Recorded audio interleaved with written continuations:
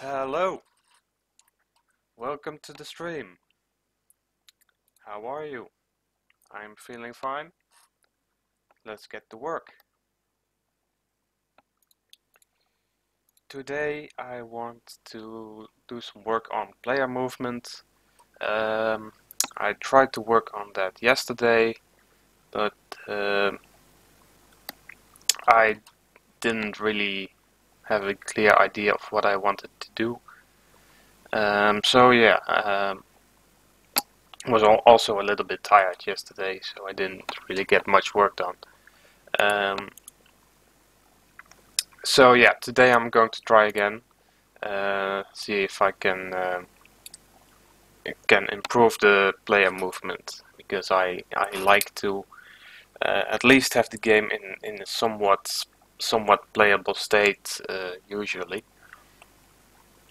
It makes it easy to test stuff out and to uh, yeah to, to keep up motivation. So I want to improve the player player movement code right now because the current movement code is a bit um, annoying and I do not want any annoyances while I'm testing. I don't well while I'm testing stuff like terrain generation or uh, yeah other stuff. Then I don't want to worry about uh, will my character maybe clip through a wall or something. I want to be able to focus on one problem at a time, and the player character is how I navigate through the level while I'm testing, uh, at least in game mode. So getting that right is uh, quite important, and of course it, it needs to be done anyway, uh, eventually. Uh, currently working on player movement tweaks. Yeah.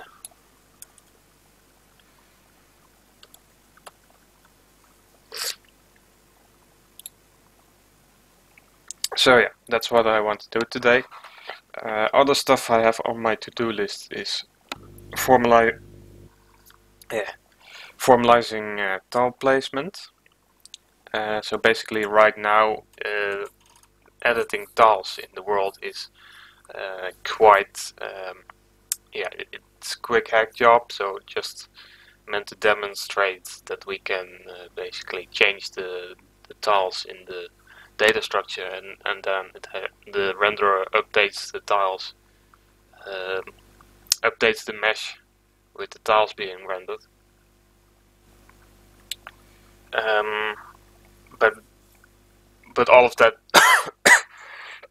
the tile placement code is in the main class right now and I do not want to keep it there.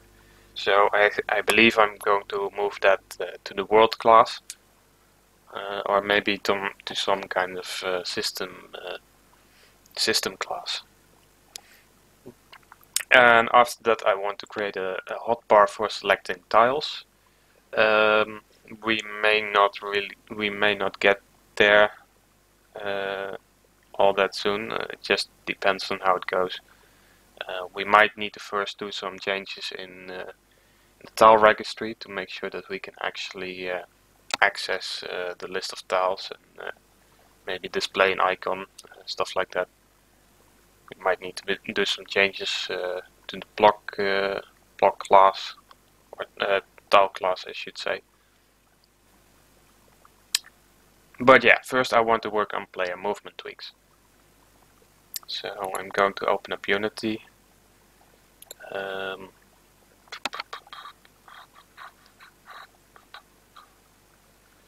uh, let's see. Player character.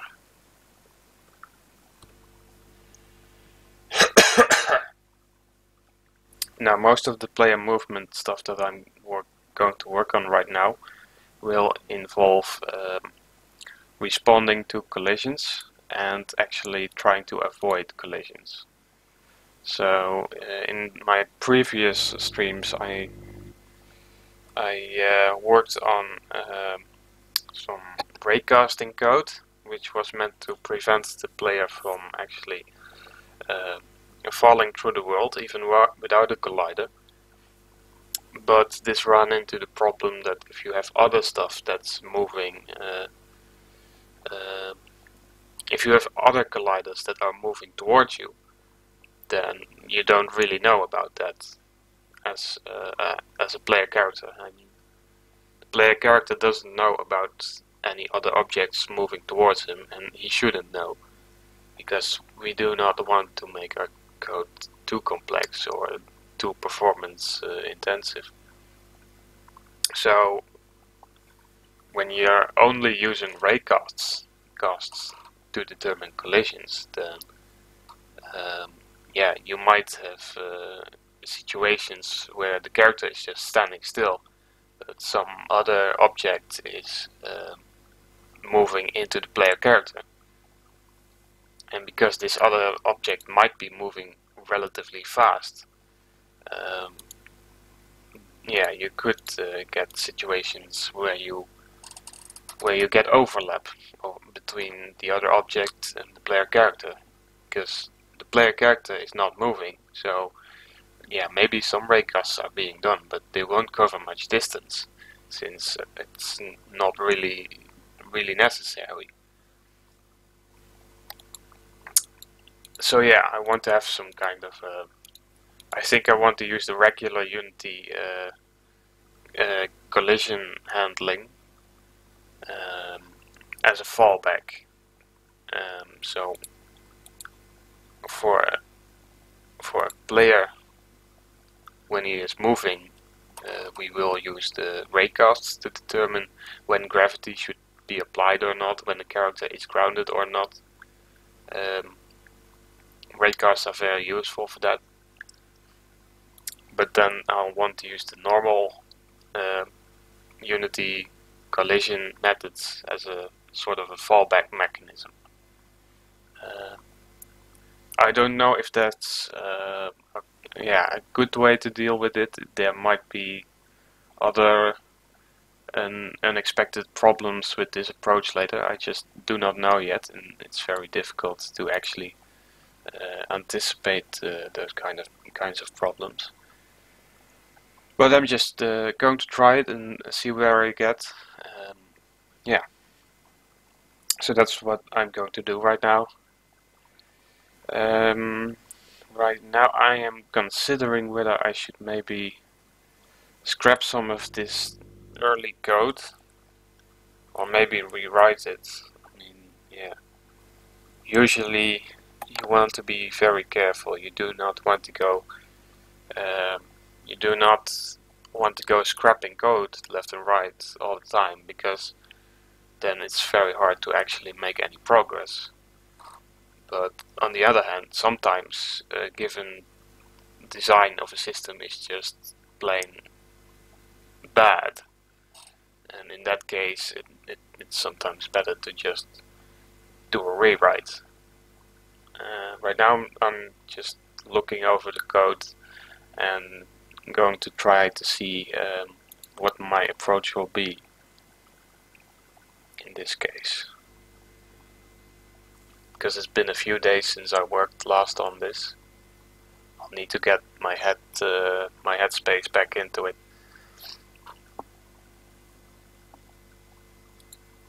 Let's see. Uh, player. So this is all about walking.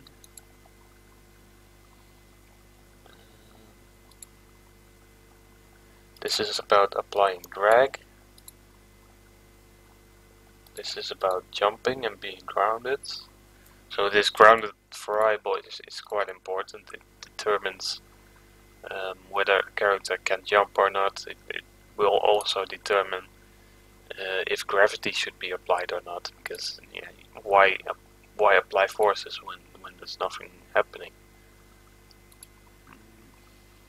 Play at the jump.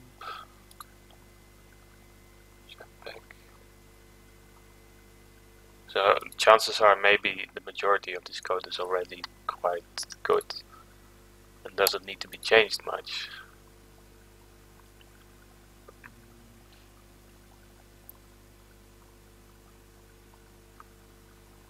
Oh yeah, so if, if we are not grounded, then we should use uh, the jetpack function instead. Um, and in this we accelerate them to some maximum vertical velocity because we don't want to accelerate past yeah past a certain uh, speed. uh,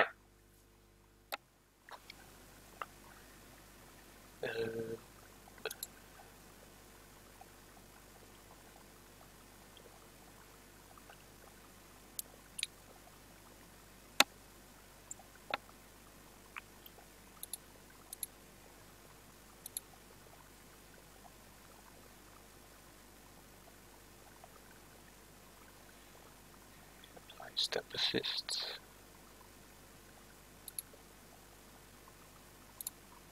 Step assist, I believe, also works as it as I want it to work.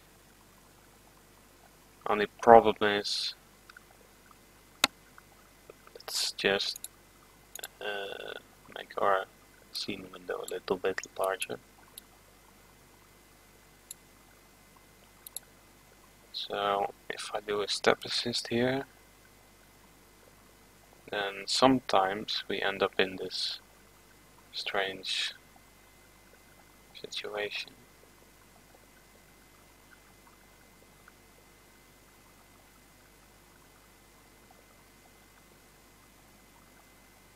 So yeah, it's basically it's shifting our character upwards, but because we are still uh, with our yeah with our center point uh, if we are still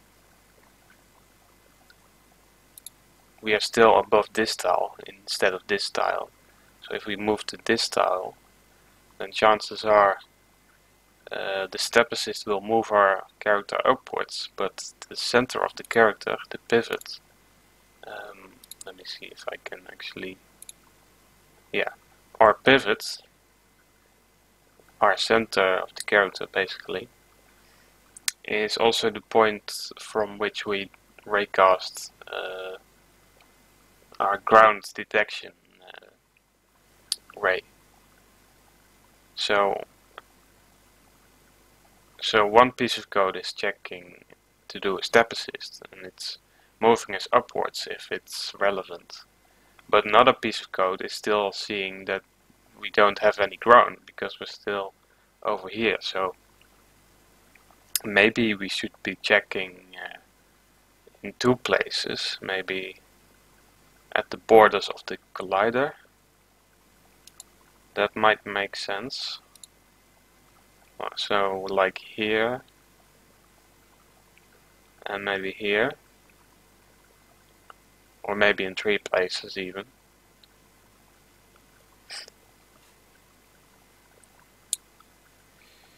So I think that's a good way to solve this uh, gravity issue. Another thing we could try is uh, is to reduce the width of the, our collider. Oh. Uh, yeah, so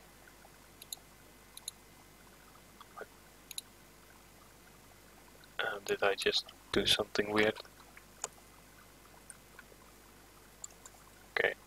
Um, one other thing we could try is to reduce the width of the collider to something very narrow. Uh, something like this.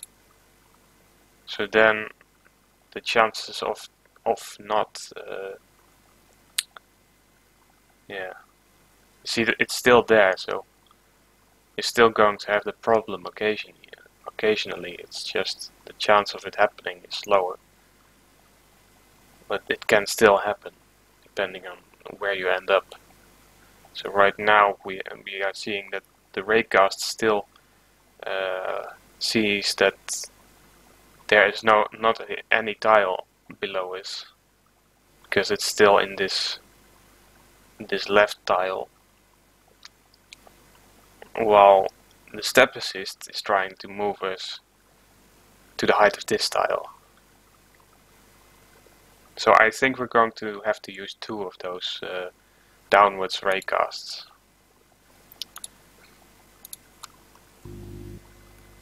At least if we still have those. Uh, I don't really know if I... Yeah, I think I removed that code earlier. I'm going to have to rewrite some. Um,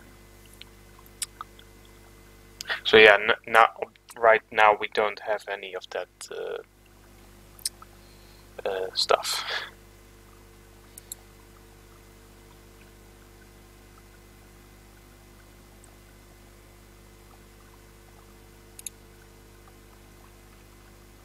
So let's see, uh, there's overlap.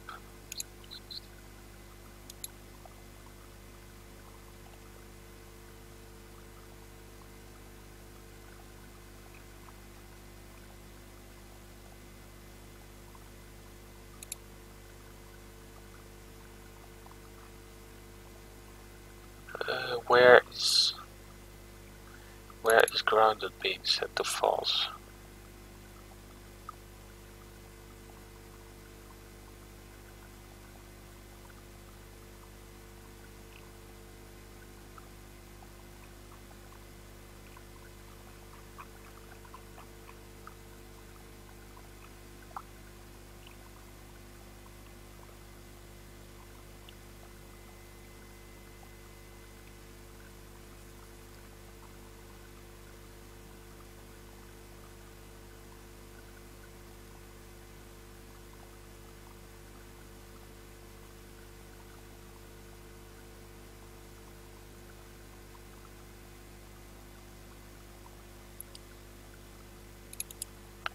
Let's just find all references. And is false. So is this the only place? This is a condition, this is condition, this. Oh yeah, this is also. Oh yeah, so. Yeah. This is what's causing us to fall again and again and again. So.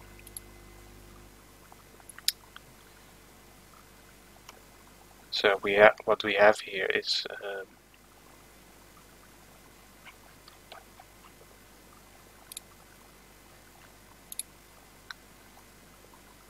what we have is the step assist trying to uh, trying to move us to the height of this tile. So we can walk on top of this tile here. And then the collider no longer registers a collision probably because uh, because for the next frame um, the collider doesn't really collide anymore over here because it's like in this region. So it doesn't collide with this one anymore.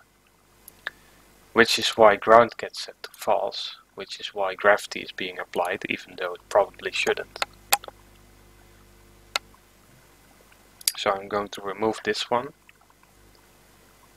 And instead we are going to uh, use some raycasts to determine if we should apply gravity.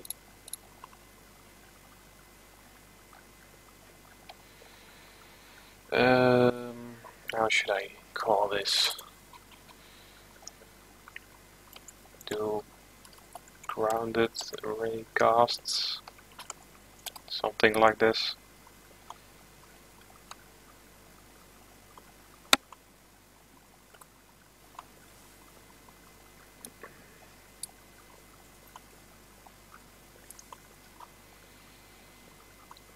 Let's see.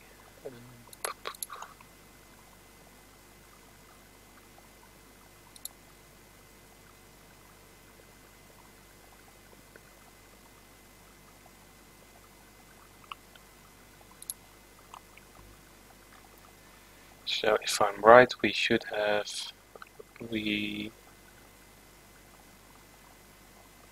no that's not right. So basically I think we're going to have to make some bounds objects or something. Um, Or maybe not. Uh, let's see. Do, do we have ac actual access to the collider easily? Jet body, collider to the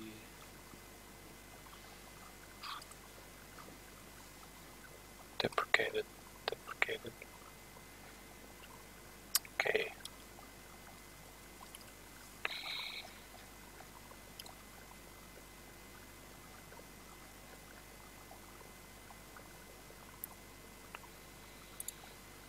So we're going to have to get a reference to the collider.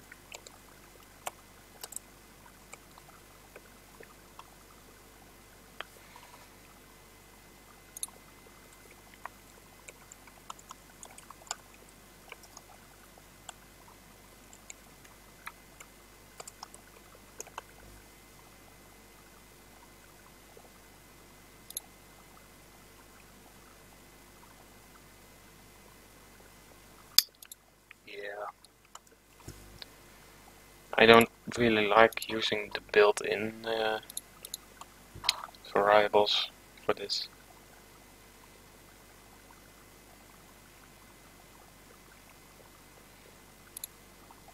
I like I like things to be ex more explicit. Uh, so collider dot bounds. So we're going to try to get the bounds of the collider. The world space bounding area of the collider. This changes every frame and it, it lets us uh, easily access the, the corners of this uh, collider.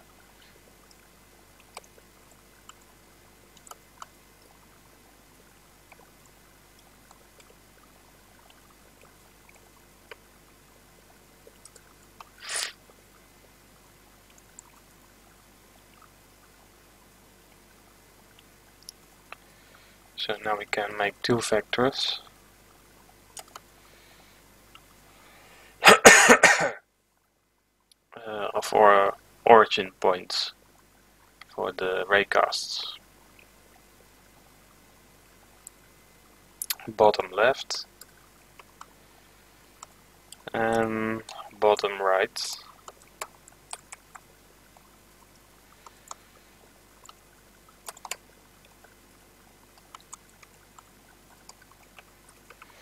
So how do I want to populate those? So yeah, this is easy. We'll just take the min x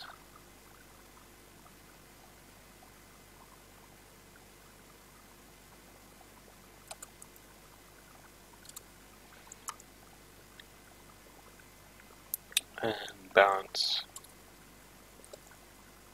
min dot y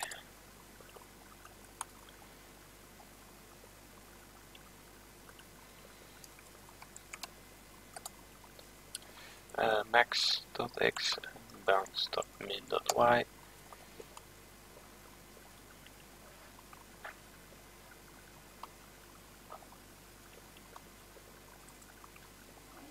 Hi. Uh, and then of course we need to do our raycasts. Uh, first of course we want to determine uh, the direction.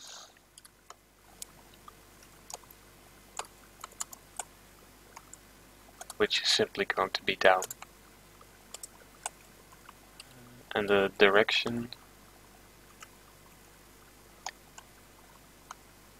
uh, I mean the the length which is going to be yeah what do we want to do um, maybe one would be a good start. Or maybe something higher or slightly higher or lower than one. Kind of depends on uh, what kind of results we get. Kan ik een foto maken met jouw uh, yes.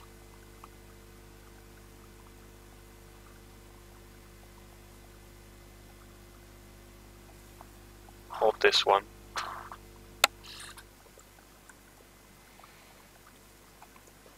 Um, yeah, so if physics 2d dot raycast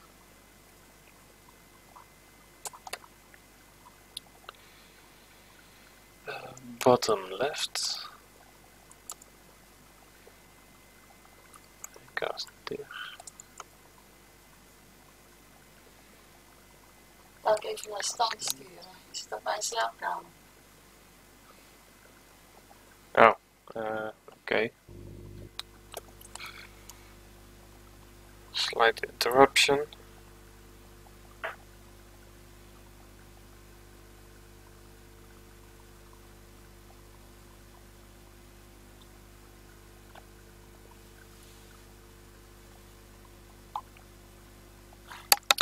Okay, that's done.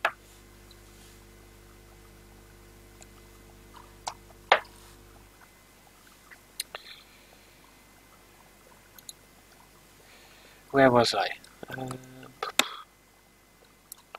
oh yeah, we had some raycast results. Um, yeah, let's just use the regular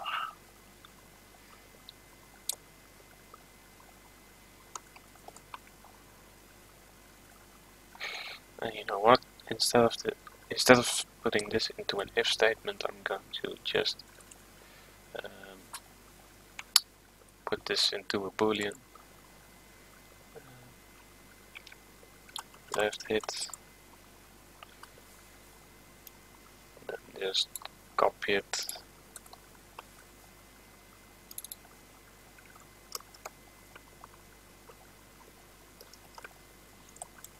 So we'll use the same approach for the right one.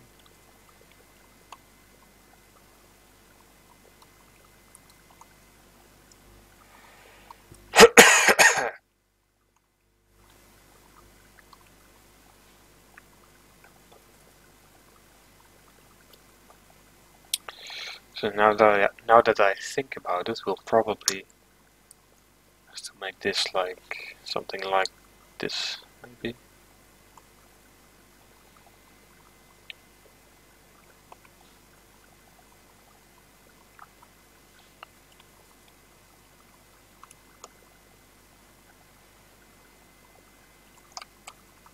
So if any of those got hit, then we'll set grounded to true. Uh, yeah, actually, we we can just simply do uh, grounded equals left hit or right hit. So then, if if none of those uh, raycasts hit anything, then grounded is set to false. This gets applied in update. That seems fine, I think. I always get confused about putting stuff in update or fixed update. I know the differences between the two, but uh, it, it remains confusing all the time.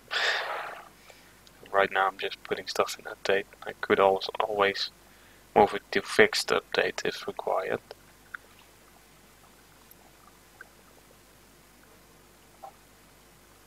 So let's see. This thing is not really working as I wanted to.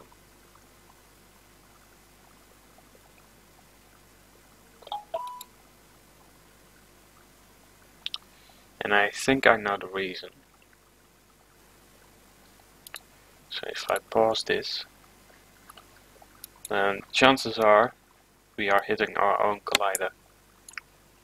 Because these are the corners, we're starting our raycast from here uh, it might be that we are actually hitting, hitting our own collider. So we might want to uh, take these bounds minus y and subtract some tiny value from it.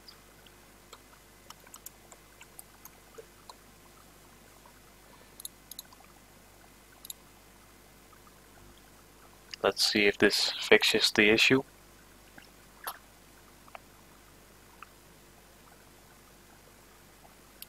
So that seems to work nicely. Our jumping code is really really high for some reason, but I guess we'll I guess that's a problem in another place in the code. Do we still have this um, this problem?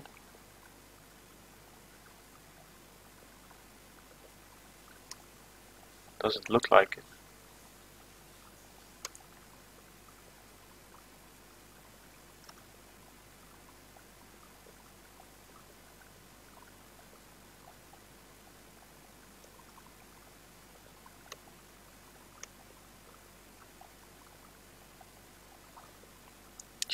Working fine.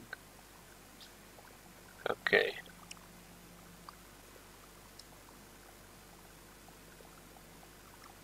Uh, let's see how it works if we actually try to uh, if we try to stand on something moving.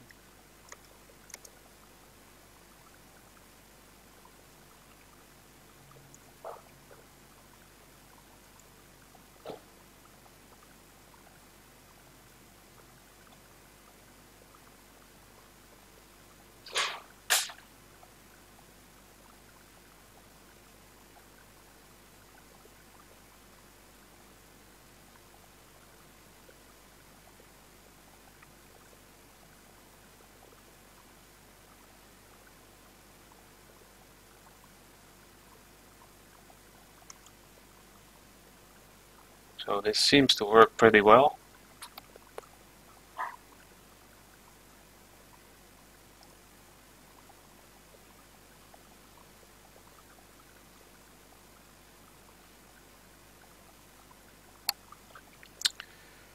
Of course the sprite being used for the player character is just a temporary placeholder. Uh, I have no intention of making a game uh, similar to Mega Man.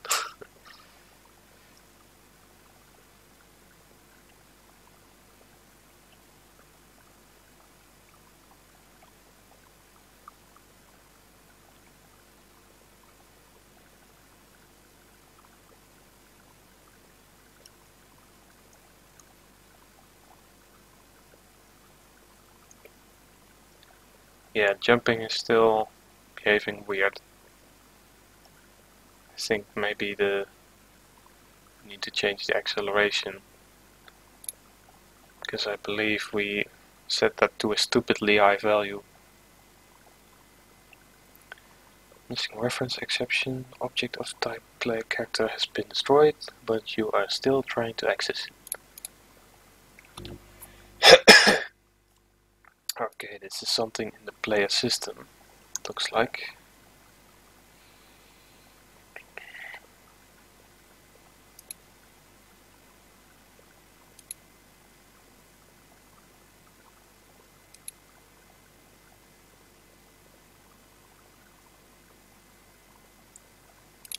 Oh.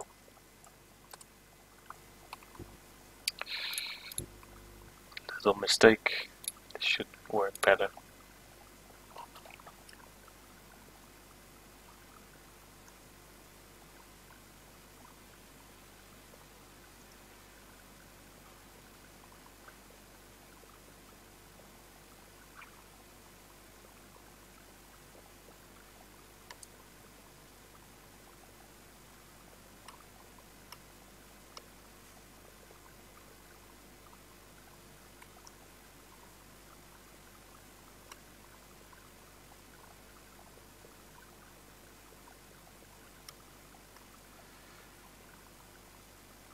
Uh, be a good idea to increase the weight of all these uh,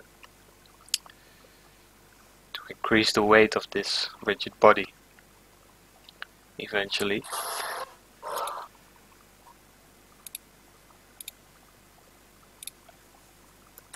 What if I set this to a thousand?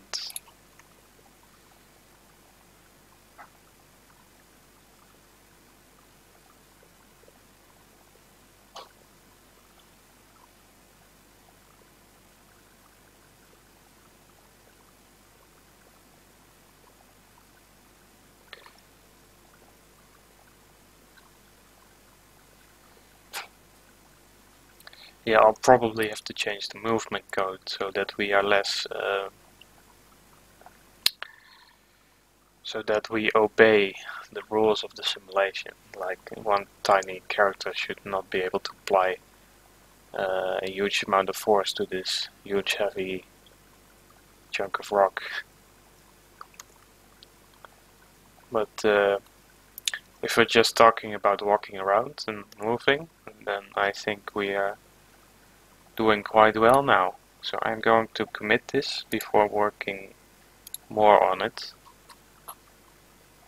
I uh, usually try to make small commits. This is not always practical, but it's usually uh, a good idea if possible. Because then you know if if something, if you notice a problem later on down the line, then you can use a very simple binary search method to actually uh, to actually find out where something broke.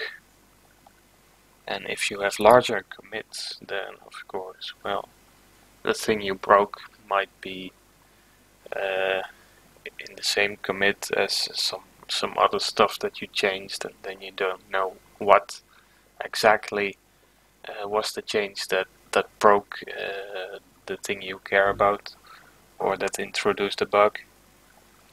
So I try to keep my commits as small as possible. Usually.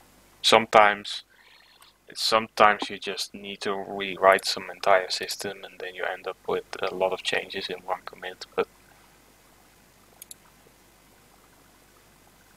uh, yeah it's a good thing always to keep in mind.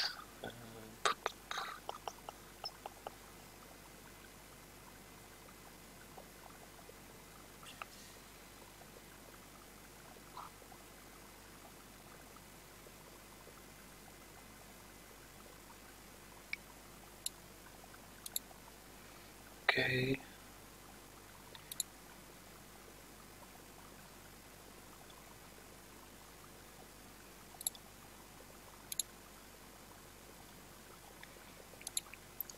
See, really, I should really separate this these into two commits. Um, so, go to make this fixed bug in uh, player system. It would still try to access player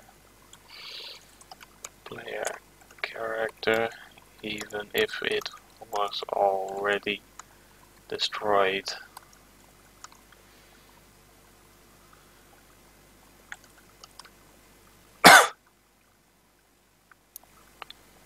Some sometimes happens when exiting play mode in editor.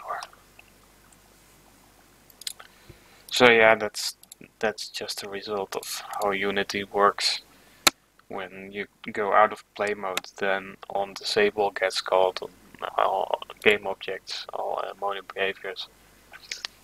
And since we are also using using that functionality to be able to uh, actually disable systems from the inspector, it's a little bit uh, annoying having to deal with that.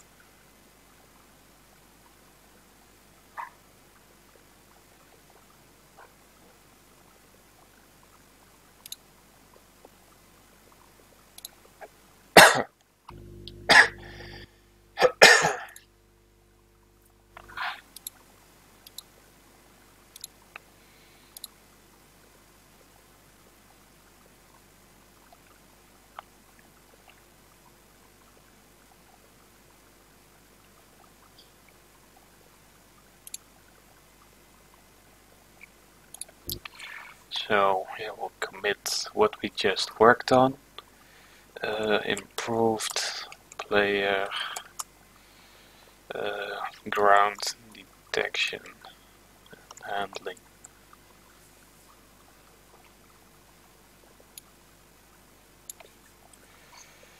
Improved player ground de improved ground detection in player character. Yeah.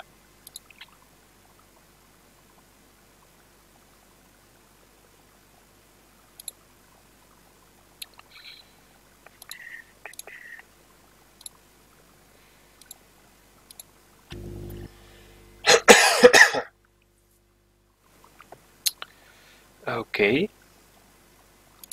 So I think I should be doing a push now. Because I forgot to uh, I forgot to push my changes yesterday. I now see.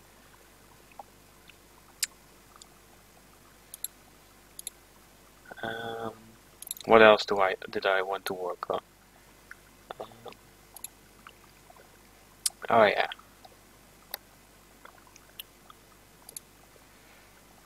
So maybe we want to actually use the rigid body for forces and velocity because that way uh, the interaction with other moving grids will be more accurate. Not entirely sure if I want to do that right now. Uh, to be honest, I, I kind of like the the the way it works right now, just using kinematic movement, so that we have full control over over movement.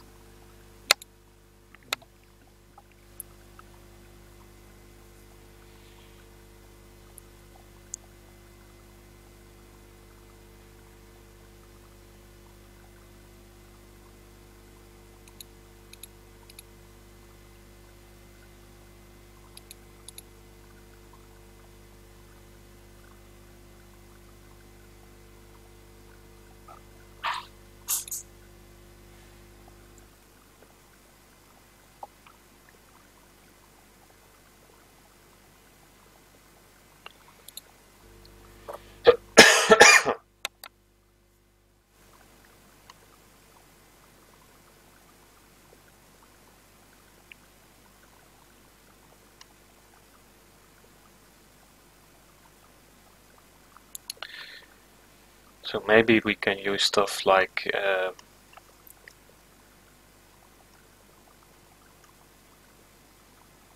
yeah, we might be able to use the same raycast approach to make sure that we that we don't try to move inside um, uh, that we don't try to try not to overlap with any grids of course you run into the same issue like if a grid moves into you then uh, you still have the same problem. Because the character doesn't know about um,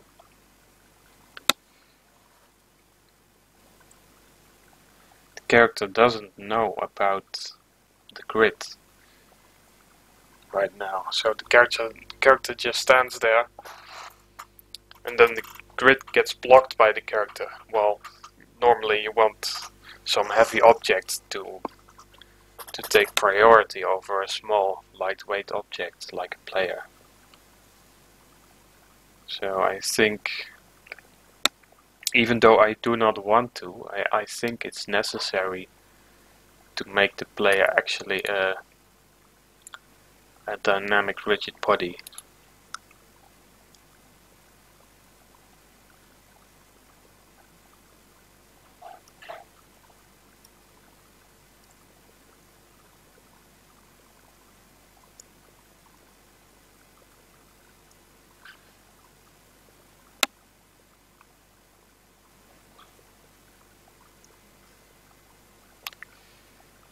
but this always remains fun.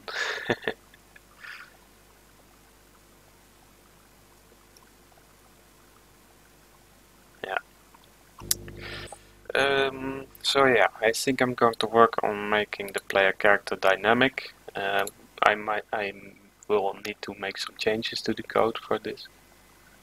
Um,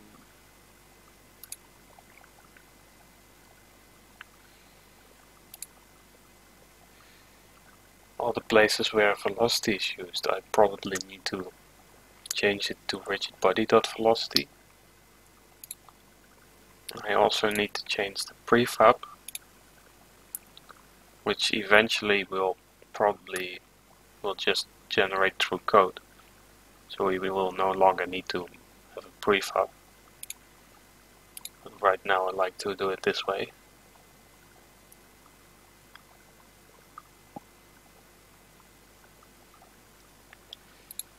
Okay. So in the current document I want to replace velocity with rigid body dot velocity. That would be a nice start.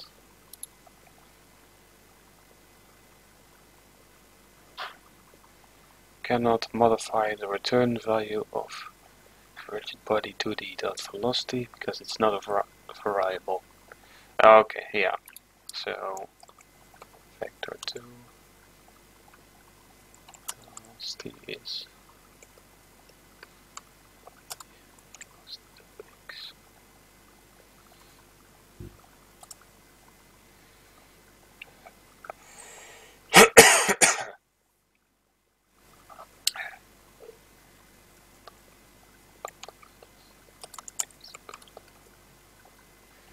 Now, I I don't like doing this everywhere, so maybe I can move it out of those if statements.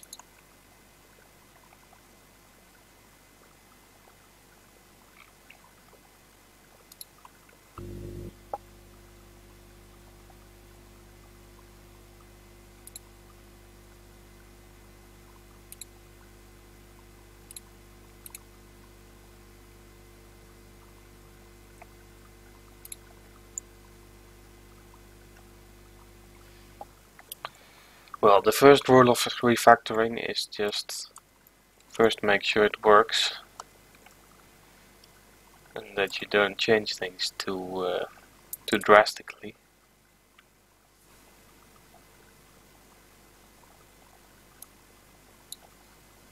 We can always uh, make it a bit uh, cleaner later on.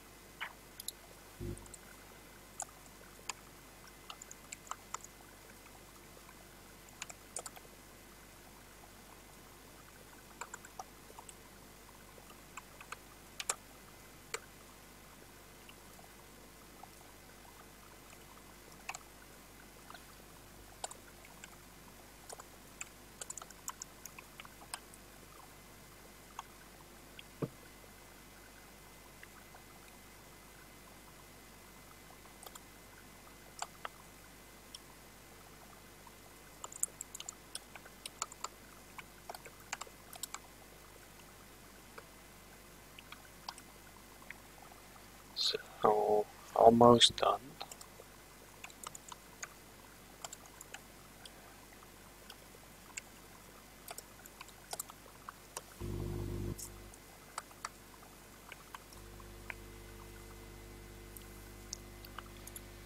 This seems to be the last one.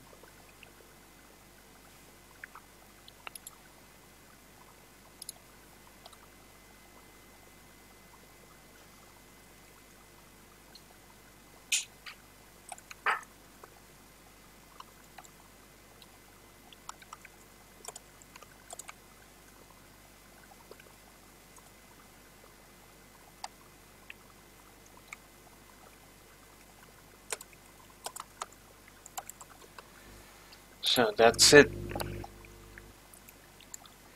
And if I'm not mistaken, we could probably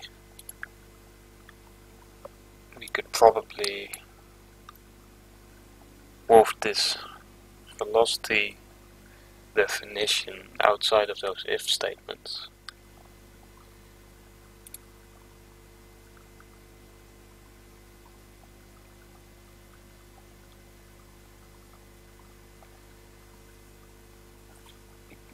but of course all of them may want to change the velocity somehow. maybe you could change some of these into if, if else's.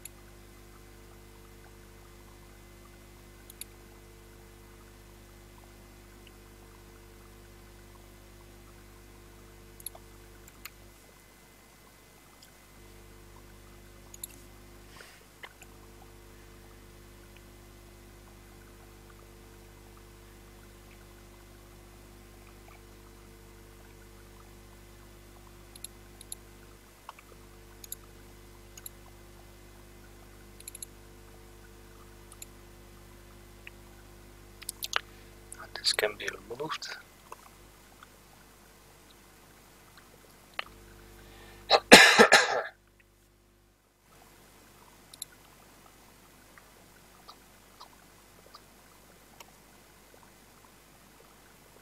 Wait, what?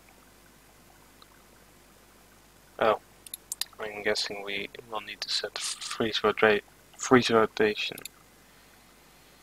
Uh, constraints.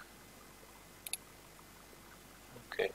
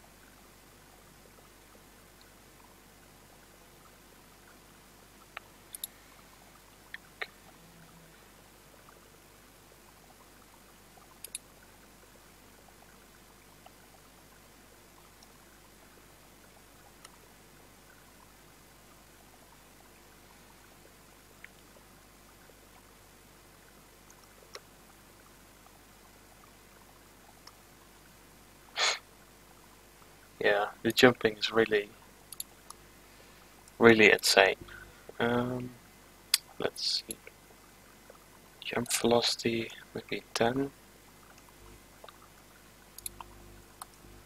Some some people might use the inspector for this, but I don't like doing that because then all your values become dependent on values that are set in prefabs and you can no longer easily change them through code. So if you have a lot of prefabs like I did in a previous game, uh, one of my past projects, um, then if you change something fundamental about the behaviors of certain objects, then you might need to go through all of those prefabs to then set those uh, values to the correct uh, properties. Uh, if those values are not serialized, if you are setting them as constants in the code, then you just need to set them once in, in the code base. You don't need to change all those prefabs. So while while the serialized fields are useful if you want to mess around in, in the editor and in, in, the inspector, once you uh, yeah once you actually actually start producing, then you really want to lock those down as constants. Uh, that is, of course, unless you have multiple objects where you want to have different uh, physics properties, like one one thing can jump higher than another. And then, even then, I think it's better to handle that in code than in uh, inspector fields usually.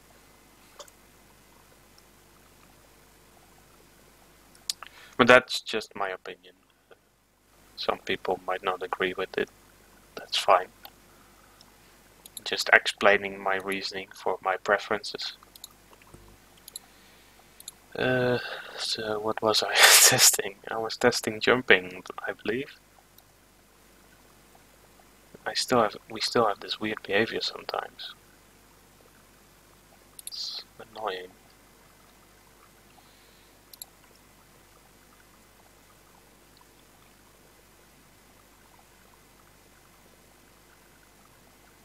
So did it get pushed back or something? It's doing that right now.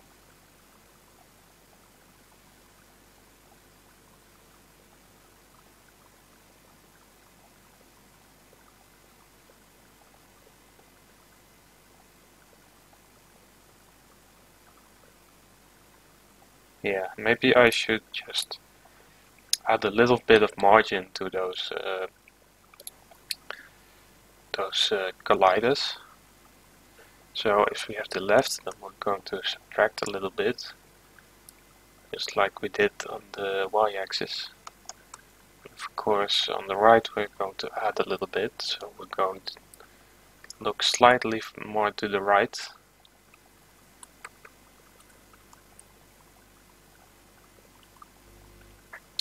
And yeah, of course these values are based on the collider, then we're just changing them a little bit. So then we should probably no longer see that problem.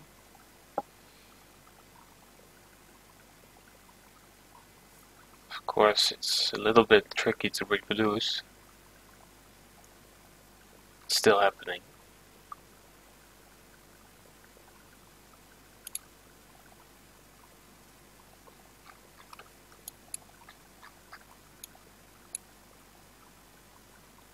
Perhaps I should increase the margin. Because I do believe uh, the character is still getting pushed back due to a collision. Um, which is which is interfering with our other code.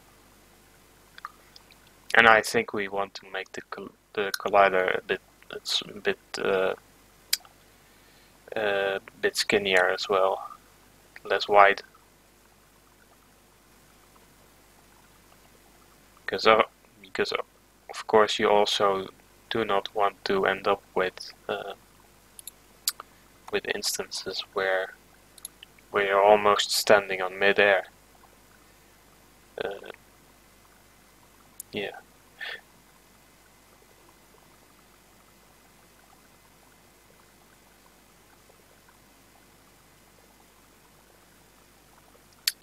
What's the size of the collider actually? It has a size of 1 on the x-axis.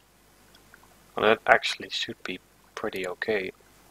Because that means you need... You'll probably need to dig a hole of two tiles to uh, actually fit in there.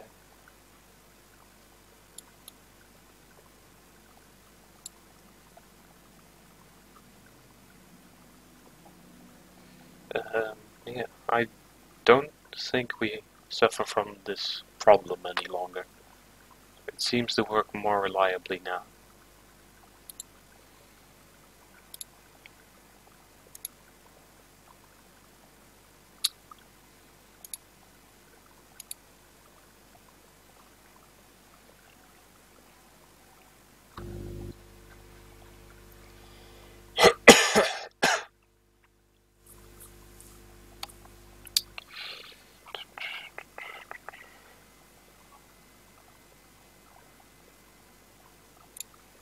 Our jumping?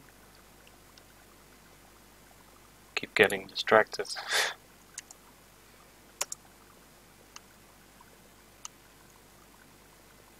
Jetpack's working nicely, jump's also working nicely.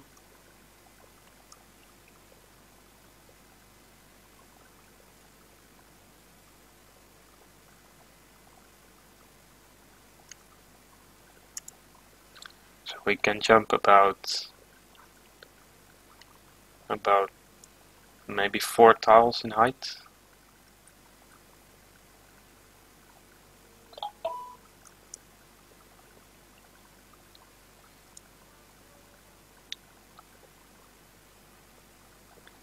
I think I'm going to disable the jetpack for now. Um,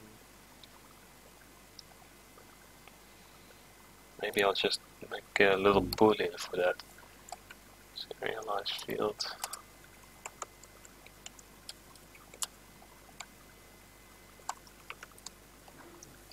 So we can easily turn that on and off. Uh,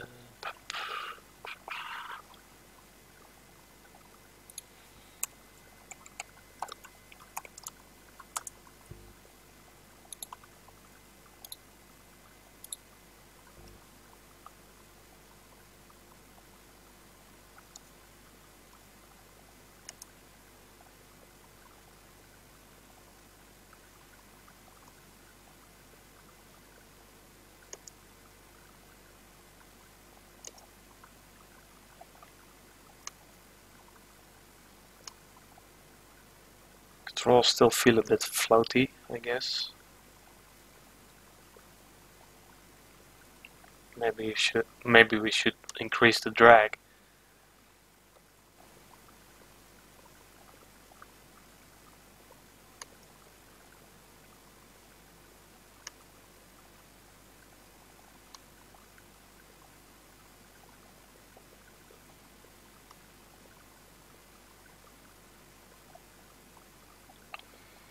Okay, this looks like it's working well. Um, so now I'm going to try if everything also still works well. If we're going to try a different landscape. Uh, or rather, if uh, if we are going to rotate the landscape. So that's useful for testing what happens if we're walking on rotated tiles. It's not an exact uh, estimation of what can go wrong because those tiles will usually be physics based. So yeah, it gets more difficult to climb, but that might not be a bad thing.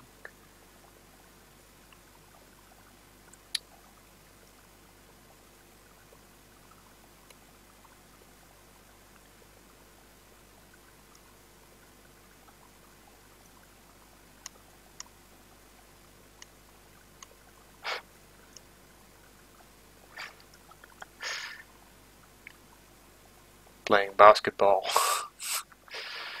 with a huge chunk of rock.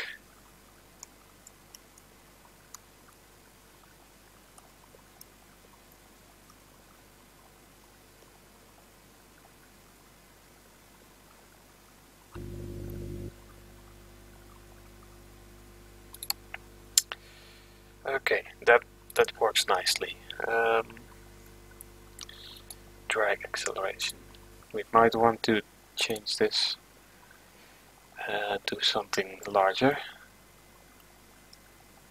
Of course, chances are also that you might want to make those values more dynamic for because uh, yeah eventually you might change you might want to rename these to base walking speed or base acceleration because um, eventually you might want to have stuff like uh, items that modify the base value to um, yeah to allow your character to feel more powerful uh, to make him faster um, to allow a jetpack or not. Um, you might even want to disable step assists at first and then require a special item before you can uh, have step assist. You can have stuff like uh, boots that increase your movement speed. Stuff like that.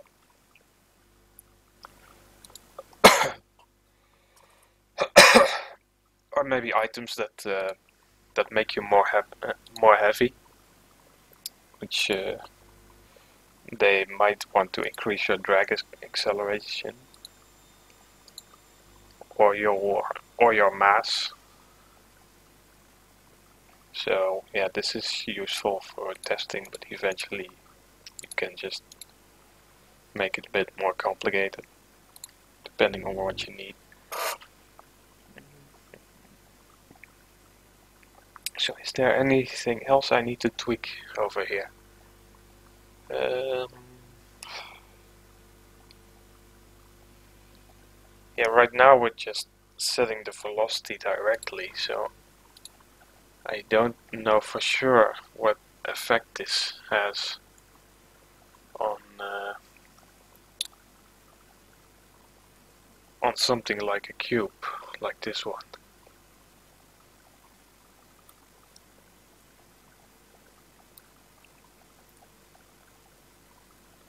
So if I imagine that um, that every one of these tiles is a one by one meter cube, or maybe uh, 0.5 meters, then I might want to give every one of these tiles away uh, a mass of 1, maybe 0.5.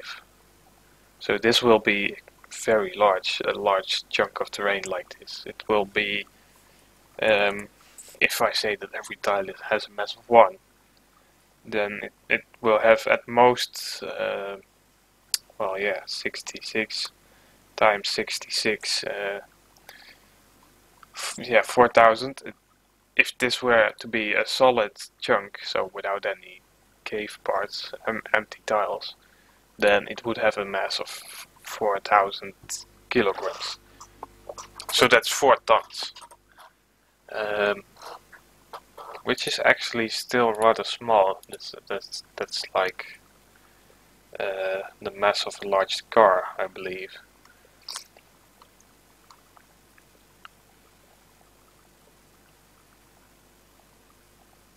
So yeah, I uh, probably need to figure out the mass of those things before I can actually really accurately test how these things will behave later on.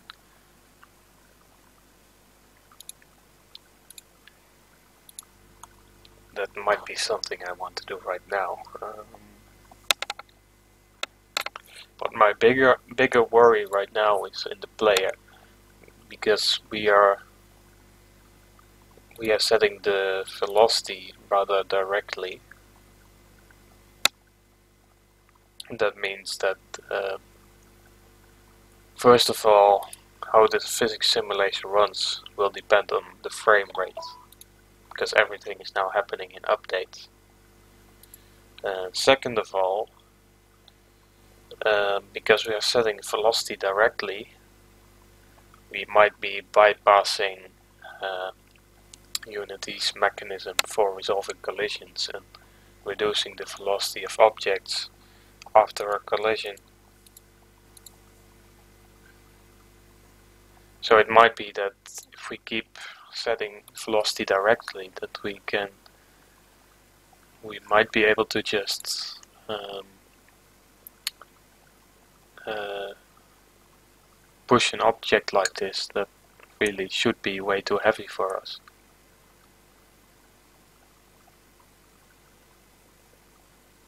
Maybe not. I don't know. I think I'll just re-enable the jetpack again.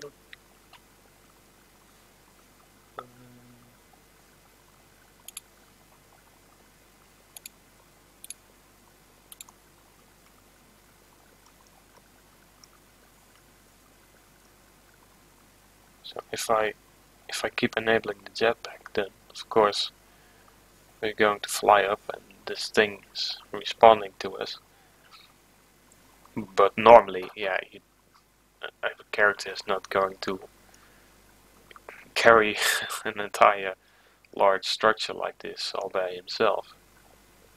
You basically we're probably going to have to change the, the jetpack and also the walking movement to use for to have to use forces instead of changing velocity directly.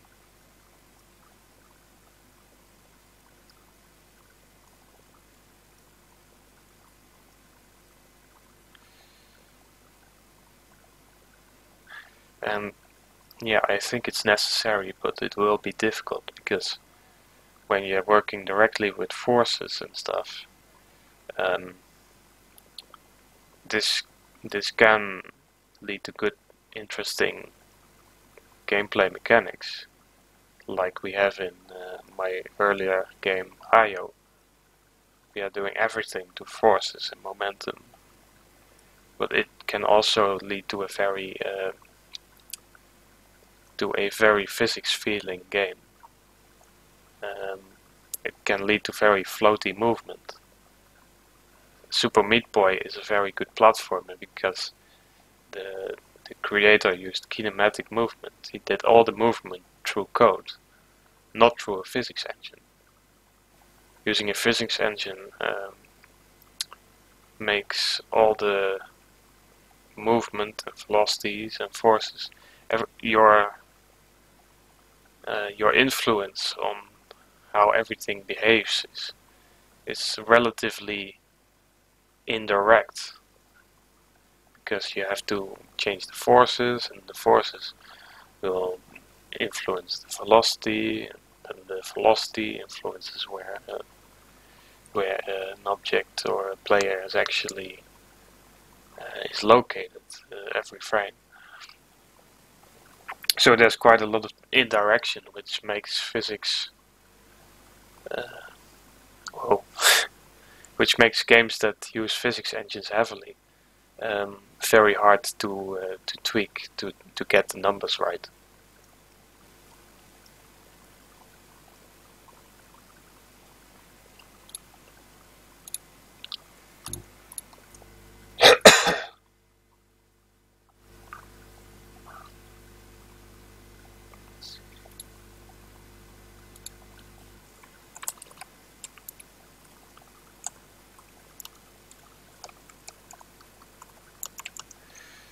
Player character to use a rigid body dot velocity instead of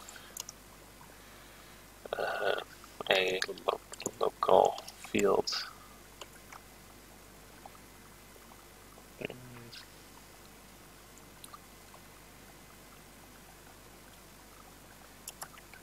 Instead of defining his own. Uh,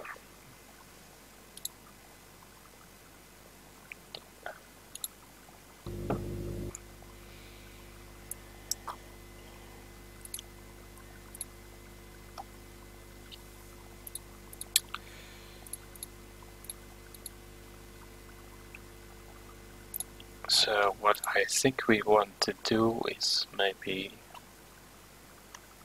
um, let's just let's just assume that the player character has a mass of 1, uh, which is 1 kilogram.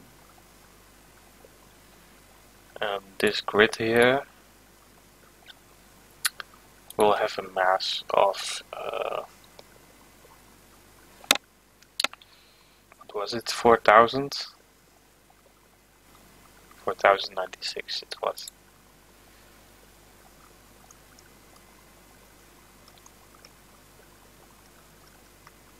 So right now we have barely any influence. So maybe it's not really necessary to actually uh, change our methods. We still had a problem here, I just noticed, but as expected it's really difficult to reproduce.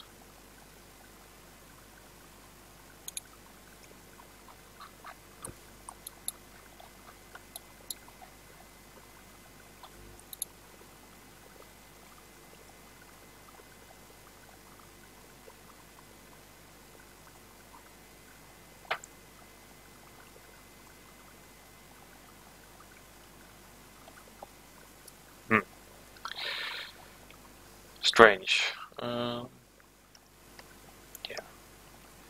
So if I allow jetpack, now I'm applying a constant velocity change.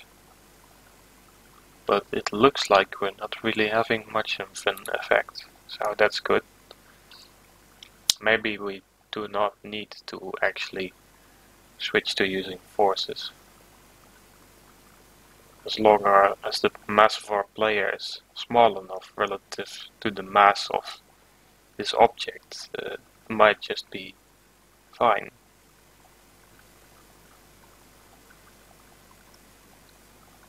Still occasionally, occasionally getting this weird glitch. It's quite difficult to reproduce. But at least it's happening way less uh, often than used to happen. So that's good.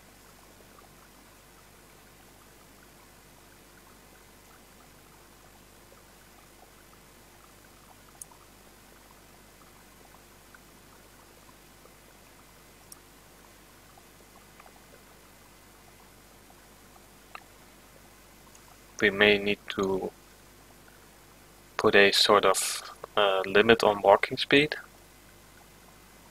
yeah, now we're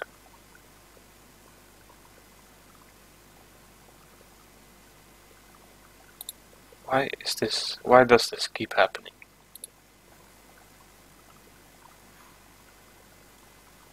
Maybe we should, uh, after a step assist, we maybe we should just move the character slightly in the direction where the, the target tile is. That might that might be a good fix. Uh,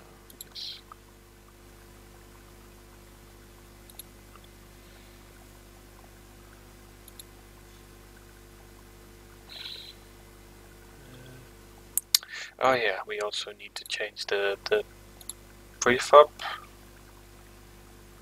because we changed it to dynamic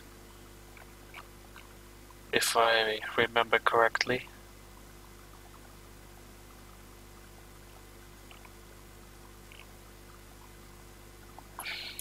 Um,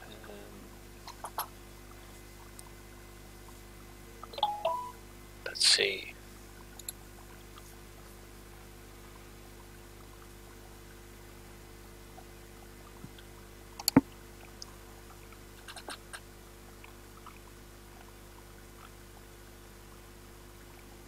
Did we not save this?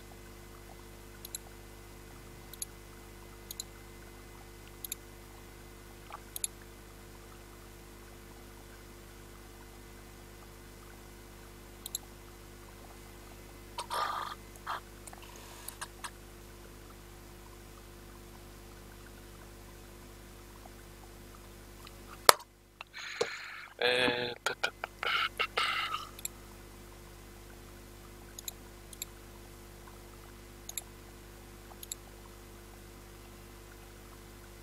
type.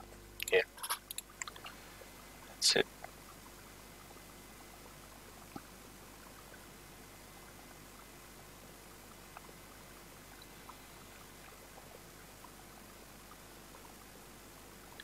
Oh yeah, and the constraints. Stage lines. So this is the the constraint to not rotate on the z-axis. This is the body type being changed to dynamic.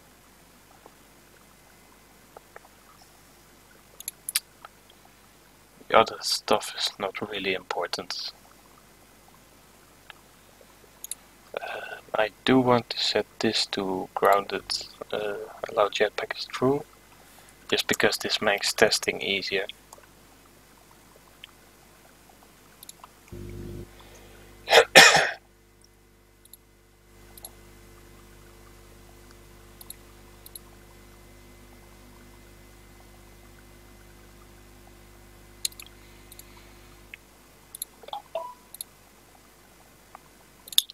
going to amend the commit with these changes.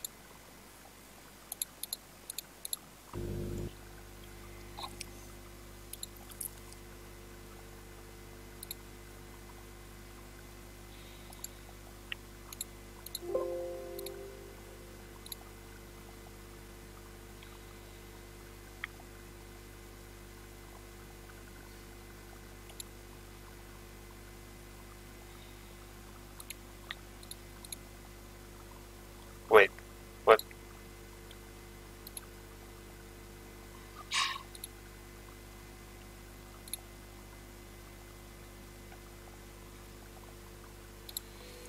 Hmm.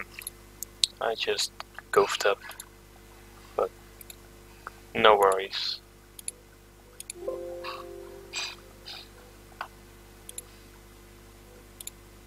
Yeah, so I've amended the commit to include those changes. Uh,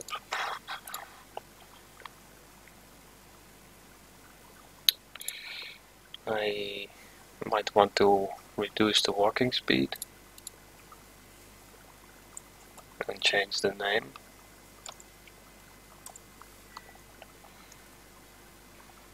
What's good walking speed? Uh, 10 meters per second? 5? Let's set it to 5 and if it's too slow I'll make it higher.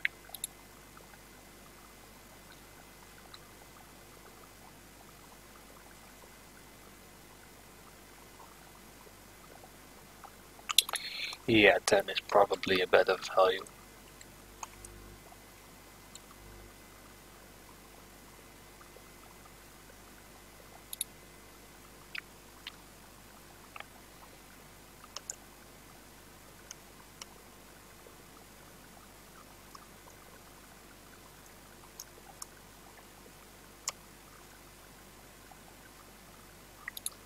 Mm, 15.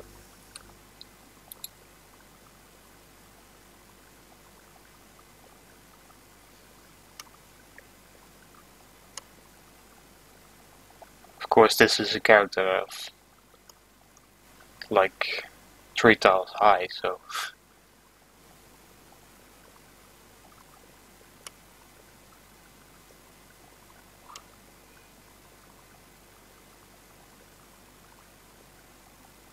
yeah, th this this feels nice.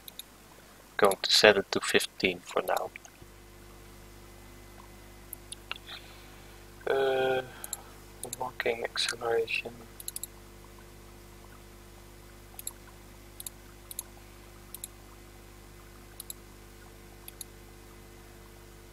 I believe these are very high because some of the movement code might not have been working correctly previously.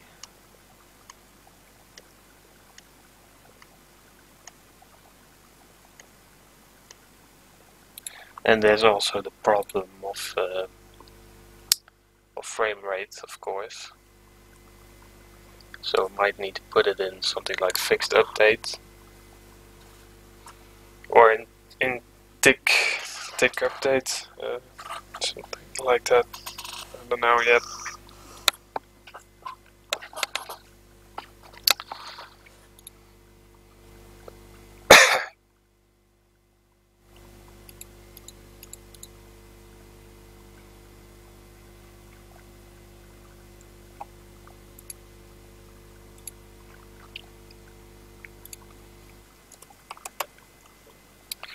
So yeah, let's change this to fixed update.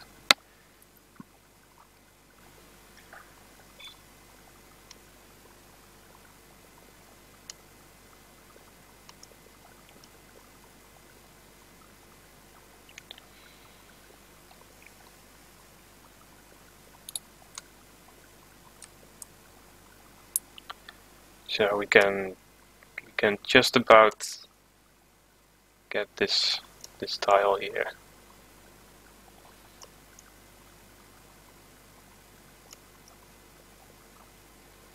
Yeah, that seems like it might work. I like this behavior.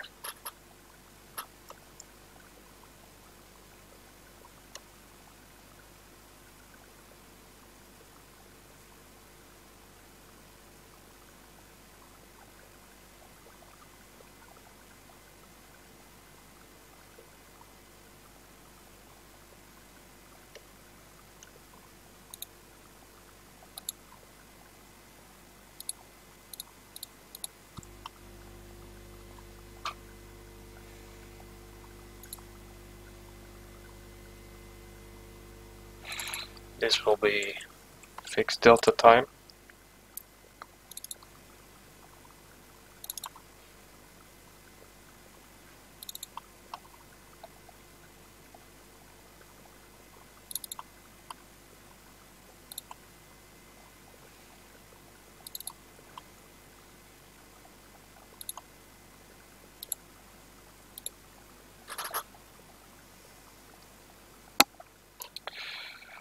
It's gonna be a real challenge to make all of this work over network. Networking and physics is uh, a bad combination, usually.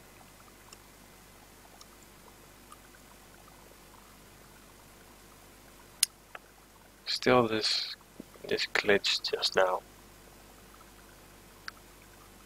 But at least it's not as frequent as this sinking through the floor thing that used to happen.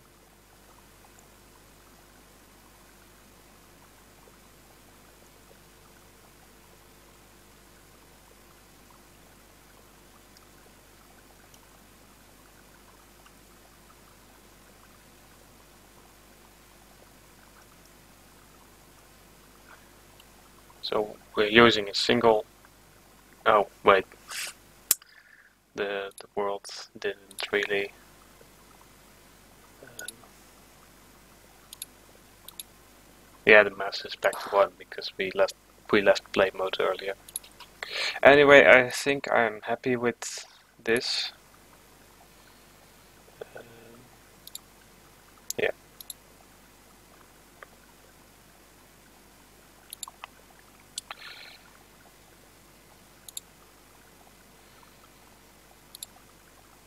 Oh, no, I don't need that one. This one. Um, so this commit we we used fixed update instead of update. We tweaked the speeds a little bit. We changed the time the time delta to fixed delta time.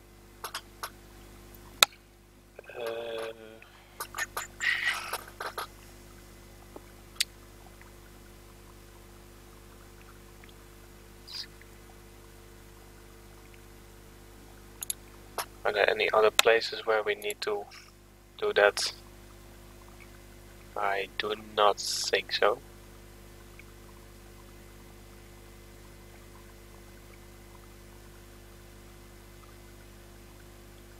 Yeah. So we can commit this.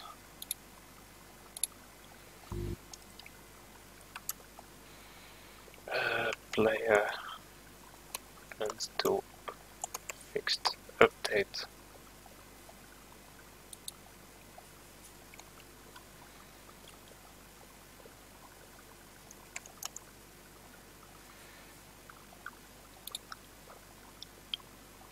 Okay. I will push this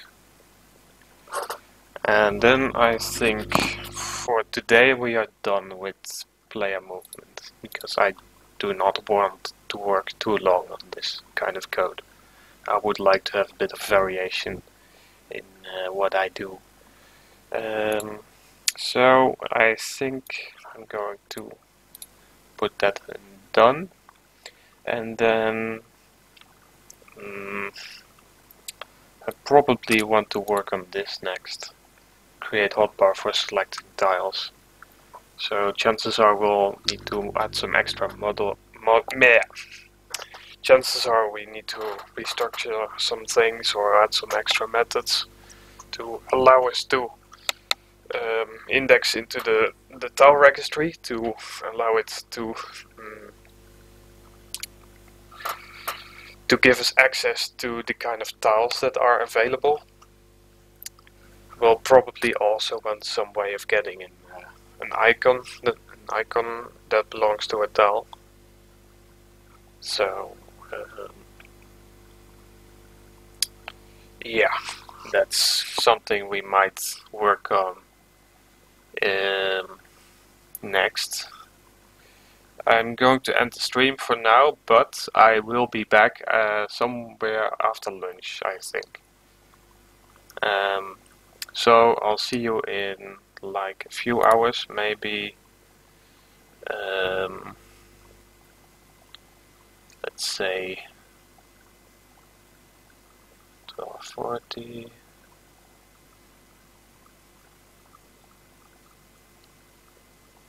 Yeah, I'll see you in uh, two hours, which uh, for my time is 1340.